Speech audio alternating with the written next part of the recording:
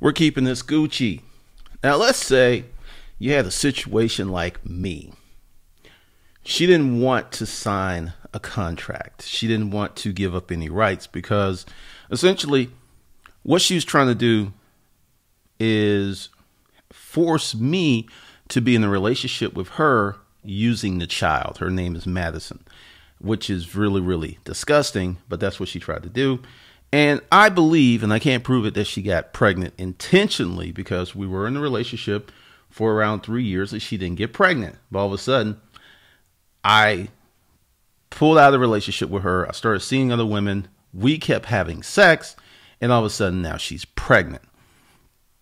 You know, I knew that it was going to be challenging getting her on the record. So I started recording conversations.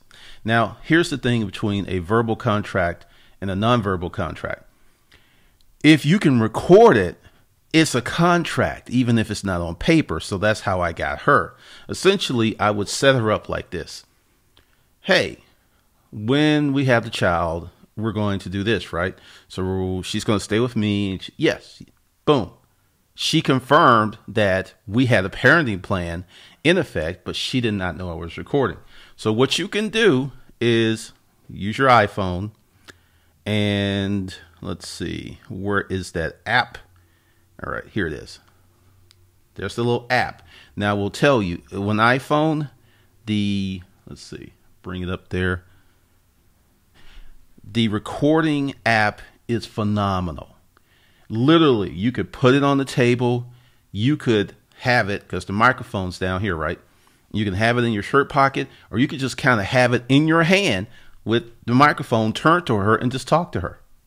So you can ask her leading questions like okay so when the baby's born what's her parenting plan?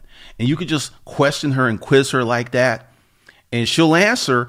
So you you do things like this to lock her in. It's like okay so, to, from my understanding, that when Madison's born, she'll stay with me during the day, and she'll be with you at night, and then we will kind of sort out some of the weekend stuff. Like maybe she's with me a weekend, maybe you have something to do, and she goes, "Yeah, that's a good idea." Boom, you got her. It's just that easy.